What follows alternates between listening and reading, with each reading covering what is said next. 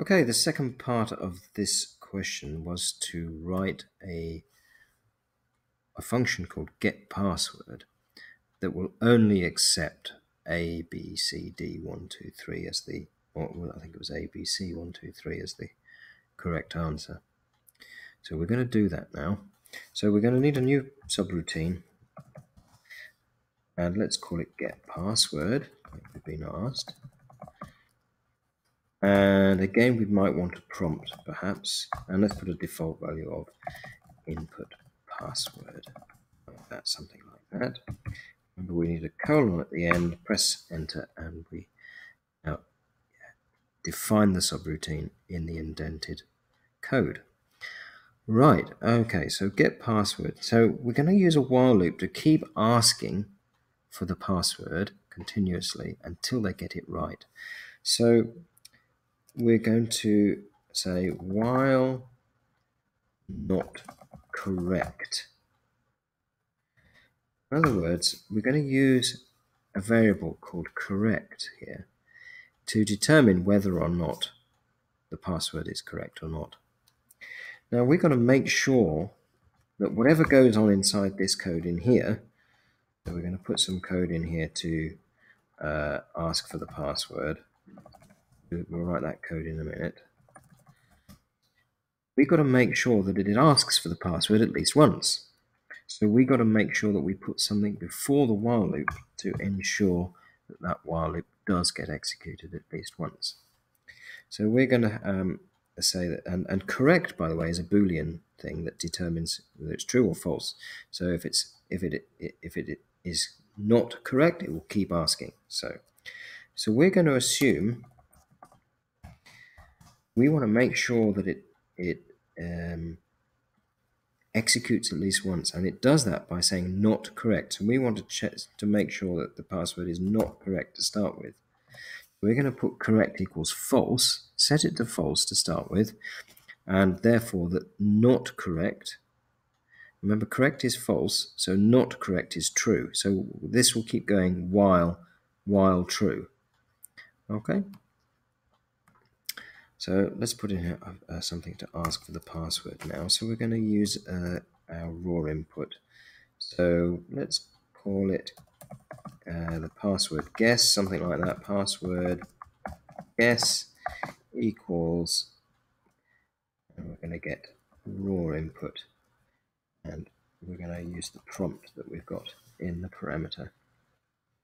So this will continuously say input password, input password, input password, and it will keep doing that whilst correct is not true. Now we need to oops, spell that wrong there, prompt, that's better we need to now set this variable called correct to being the correct value, to being the right value, I should say.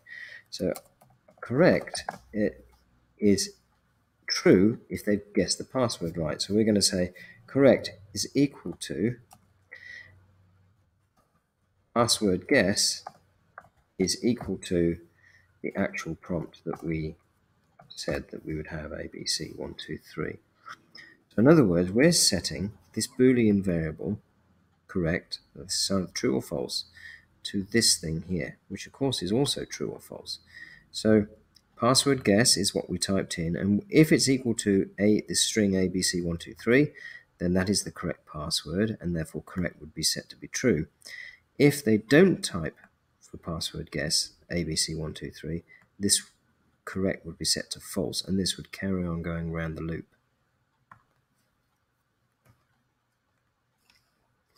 Okay, so let's test that. We need some, let's just remove this code here where we're testing our Centurion um, code.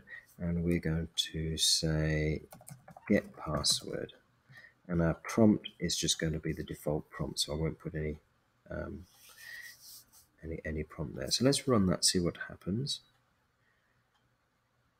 It's okay, input password. And if I type something that's wrong, it's going to just see same input password all the time. You can see whatever I type in here, doesn't matter what I type, it's it's wrong. Even just a, a blank, it's wrong. But if I put ABC one two three, then password guess will become ABC one two three, and therefore password guess uh, is equals ABC123. That would be true. So correct would be true. And this while not correct would be, this would be false because not correct is not true, which is false. And therefore it would come out an end. So we press enter now, you can see that now the program finishes. So it's a very, very simple way, I mean, insecure way, not, a, not some great security going on here, but at least it will um, keep asking the user um, what is a password to something. Let's actually look at the breakpoint, put a breakpoint in here and debug the code so we can see what's going on. So let's do that.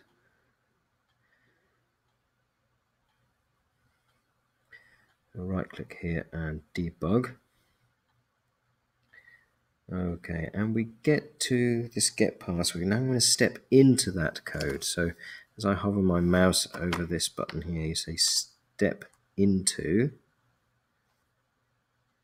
Okay, so we're going to go into that, and that goes into the get password.